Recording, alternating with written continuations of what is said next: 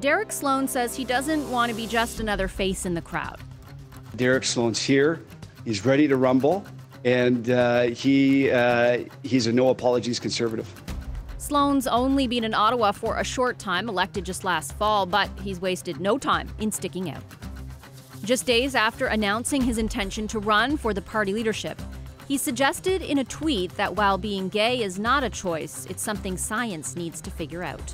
Today, I'd like to focus my remarks on the Public Health Agency of Canada's guidance for schools. Then he questioned the patriotism of Canada's Chief Public Health Officer, Dr. Theresa Tam. Theresa Tam, uh, we sent an email out today asking, does she work for Canada or for China? Which eventually drew rebuke from the leader Sloan hopes to replace.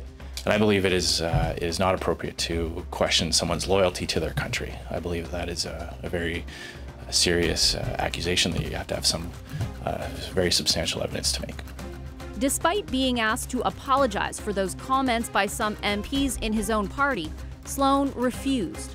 A bedrock stance he carried right into the debates. Mr. Sloan, you have 60 seconds. I will never give an inch to political correctness.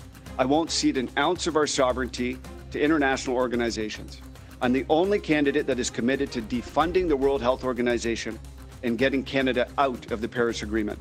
Sloan was a small business owner in southern Ontario before obtaining a law degree. He's a social conservative and believes Canada is becoming more socially conservative. But I do believe that, that new Canadians are more socially conservative. They're more traditional in their views. And I think we can speak to that in ways that are intelligible and helpful.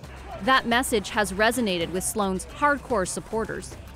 But it's unclear whether that base of support is wide enough to propel Sloan to victory. Vassy Kapelos, CBC News, Ottawa.